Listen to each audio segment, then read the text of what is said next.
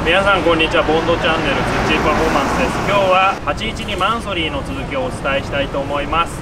まあ塗装の工程がかなり進んでるみたいなんでちょっとその様子とあとはもうご新車の812がバラバラになってるんでそちらをちょっと見ていきたいと思います。過去こんなに最速でバラバラになった812は多分ないんじゃないかなと思います。でもちょうどバンパーとか全部外れてるんで丸見えでございます。これエアコンのコンデンサーとかラジエーターとかこんなに角度ついてんだねこれ。そしてでかい。こっからここまでこれラジエーターでしょ？ものすごい角度がついてます。これちゃんと当たってんのかね風こう抜けちゃって、うん、出ちゃってる気がする。すごい構造です。そしてここブレーキのダクトかと思いきやここがインテークにつながってんだねこれね。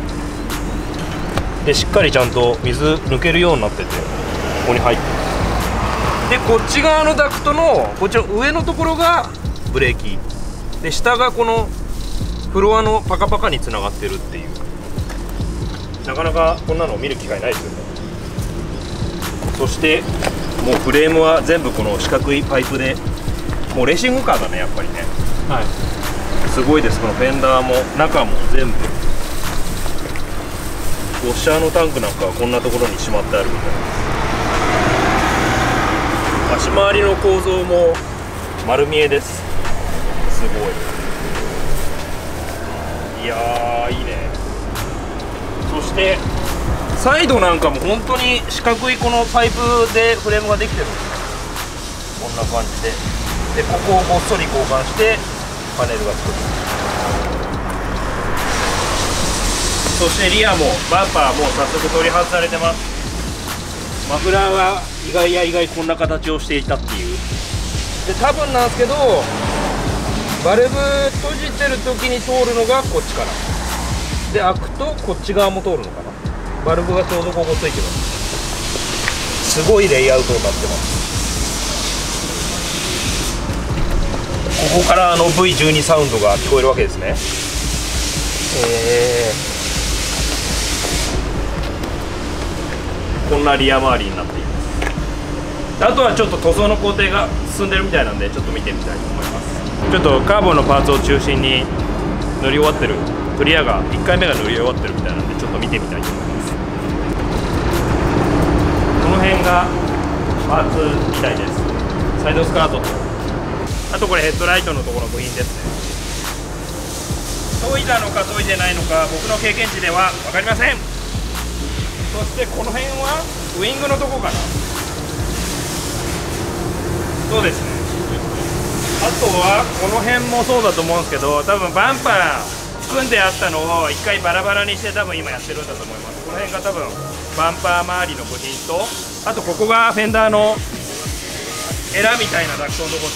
あ多分ブツブツが湧いてるんでまだまだこれから工程が残ってると思います。でこれが一番肝だったこのピンのところ。もう削り終わって再成形してるみたいです。これ言わないとわからないくらいめちゃくちゃ綺麗に。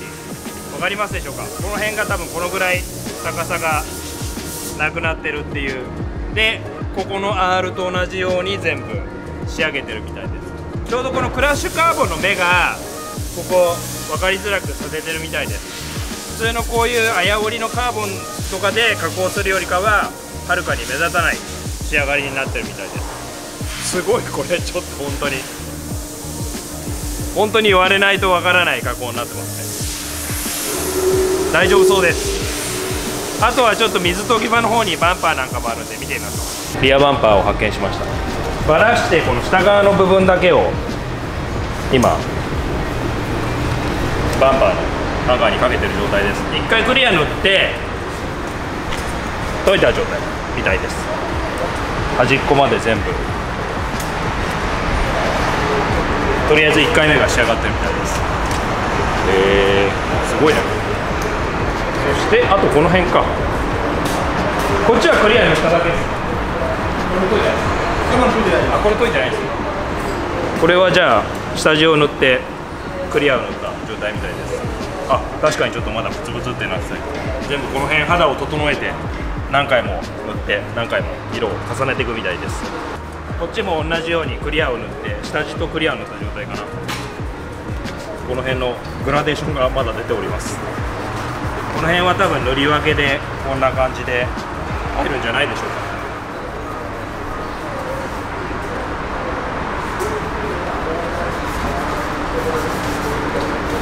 か。あとこれか。これがリアのフェンダーのところ。この辺もクリアが入ってこっちもかな？打ち合わせとかないえ打ち合わせ必要ですか？打ち合わせをしちゃうと待ってるもん。打ち合わせをしちゃうとこうやらせ感出ちゃうあ俺打ち合わせあった方がいいかも。本当ですか？こうやってるこう臨場感を、はい。はい伝えたいなとはい。今塗装の工程としてはどんくらいですか？1割2割ぐらいですか？いやまあ2割ぐらいです。2割ぐらいです2割ぐらいです。まだサフェーサー入れてクリア1回目を入れて。いやクリアは今3回目。3あもうあれで3回目なんですか？回目入ってます、でもまだやるんですよね。まだやります。研いで。研いで。色入れて。色は入れないです。あ色入れないあの研いでクリア入れて研いでクリア入れて。で下地を整えてから色です。ビアンコイタリアイタリア。イイタリア。イタリアです。じゃあまだまだ先が長いわけですね。そうですねであれフィンのところの加工はどうだったんですか？ピンのところの加工は僕やってないですけど、はい。もうシュパッと。余裕ですか？余裕でシュパッ 噂によるとなんか、はい。ドライだからめちゃめちゃ硬いとかってそうでもないんですか？あいやでもまあでもそうですね。慎重に加工してそうですね。なんとかなったっていう。はい。じゃあこの先加工は塗装があ養生はがっちりしてましたああ、はい。じゃあこの先塗装してってもあれで大丈夫そうですか？はい。問題ないですね。であと塗装的にはこれがまさしく今用意してる今ちょっと悪戦苦闘してますけどはい悪戦苦闘してるんですかしてるふりあの大変なところは見せないそうですね色的にやっぱり難しいんですか色的にめちゃくちゃ難しいですねもうパール加減で色がすごい変わっちゃうんで板でバッチリ出しても実際塗ってると色がこうブレちゃったりとかーパールの塗り方でブレちゃったりそのベースの色じゃなくてその足してるパールでそうですね。見方がはい、見え方ベースは、えー、とソリッドなんで板と同じにはいはい全く問題ない。です、パールがパールの分量が多いんですよねそれはもう原車合わせで。原車合わせで。でこれがテストピースですか？えー、そうです。あそれ違うんですか？えーっとですね。違いが分かりません 要はこのテストピースに塗って外に持ってってそうです。太陽光ではい。合わせて、はい。中でも合わせるんでしょ中入れたり外出したりします、まああらゆる。的には外で。あなるほど、はい。あらゆるこうシチュエーションではい。色を見て、大体こううちの場合はこうもう日が昇ってきちゃうんで午前中が勝負なんですよね。じゃあ朝食するときは午前中に何回やってやってます？はい。それ素材的な問題もあるんですか？要若はボディとはい。ドライってまた違うドライカーボンと素材違うじゃないですか、はい。その辺は。もう若干ですけど。同じ噂によるとなんか同じ色で塗ってもちょっと色味が変わってきちゃったり。その素材よりも何よりもやっぱちょちょっとした角度ですね、はい、えパーツのとパーツの角度ですね、まあ、例えば今回フェンダー塗ってドアと角度。あでこう結構違って見えるんですよね。だからテストピースをフェンダーに置くとドアに合ってるけど逆にするとちょっと違ったり。あだテストピースで色を合わせるんですけどその同じ色なんだけどテストピースで確認しても同じ色なんだけど角度でちょっと違って見えたり。はその辺はもうちょうどいいところ職人の勘で勘というか経験ではいちょうどいいところ。にいちょうどいいところにはい。でなんとかなりそうなんですか なんとかならないと困るんですけど、なんとかなりそうっていうことで、続きがお楽しみってことです。あ、わかんないね。確かに。あーまあ言われれば、あーここからここまでクラッシュカーボンのこの目がないですねって言われればあれですけど、もうこうなったらもう全くわかんないです。なるほど。これ、はい。縁までカーボンが残ってるからああなるほどこれ別にネタバレしても全然誰の参考にもならないから言っちゃっていいですよ。あ やっぱりここ切ると中は空洞になってるらしいです。そしてここ埋めるのに、まあ、当然パテだと痩せちゃったりとかはい。問題が出てくるんで、まあ、パネルボンドでここ埋めてるらしいですけどなんとこのここの切り口パネルボンドの黒い色のまんまらしいです。で、まあ、色入れちゃうよりかも自然に仕上がったまあ、想定してなかったんですけど結果オーライ、いや想定してなかったら結構オーライだよね、本当に分かんないですよ。うん、黒入れない方がいい。そしてこの切るのはこの高橋さんの先生切ったんですよ。僕はノータッチ。あノータッチなんです。よ本当ですか？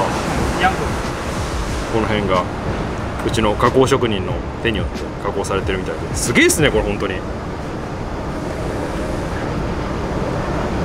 硬いで答え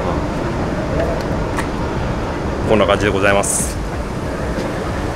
いやでも本当にすごい。一安心これは一安心えこの辺のだって角ってなかったわけじゃないですか。あそのケバケバは残ってた。う。まくうまくだから本当うまく切ってるんだ。よこれすげえですね。いやこここの面もすごいよ。この面もすごいですけどここの面？そう耳。ここすごいよね。ここすごい。俺もびっくりした。すごいな。確かにはいというわけで今回は812マンソリーの続きをお伝えしました。えボンドチャンネルのチャンネル登録もぜひよろしくお願いします。最後までご視聴ありがとうございました。